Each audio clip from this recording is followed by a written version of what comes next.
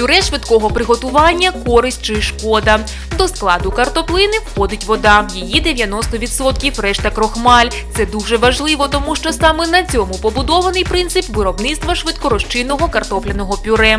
Я хотел бы развеять все ваши сомнения по поводу того, что можно сделать качественное картофельное пюре быстрого приготовления из какого-то синтетического крахмала. Поэтому речь идет только о качестве изначально продукта, который так скажем, э, применяется для того, чтобы приготовить картофельные э, хлопья, из которых делается картофельное пюре быстрого приготовления. И второй момент это, конечно же, различные пищевые добавки. Технологія така: спочатку картоплю миють, чистять, потім варять. Після розминають в пюре і розгортають тонким шаром. Після чого продукт підсихає і стає завтовшки з папір. Далі цей папір і перемелюють вже в сухе пюре. Если органолептически вам кажется, что этот продукт вполне съедобен и нормален, то, скорее всего, э, производитель его сделал действительно из качественного картофеля. Э, Любая попытка э, определить качество картофельных хлопьев по внешнему виду, она, к сожалению, окончится неудачей. Как вы видите, большинство этих упаковок непрозрачные, поэтому ориентируйтесь на, конечно же, уже вкусовые ощущения.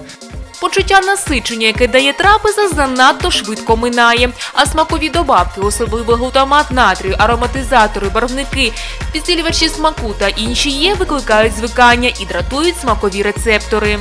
Чаще всего это заменители вкусов.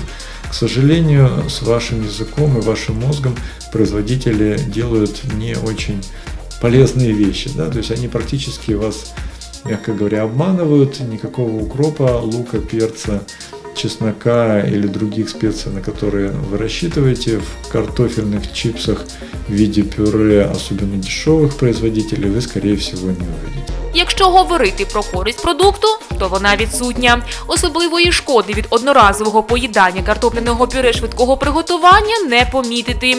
Але якщо в звичку увійшли перекушування, а то і обіди таким пюре, потрібно бути готовим до розтягування шлунка, важкості після їжі і проблеми із судинами.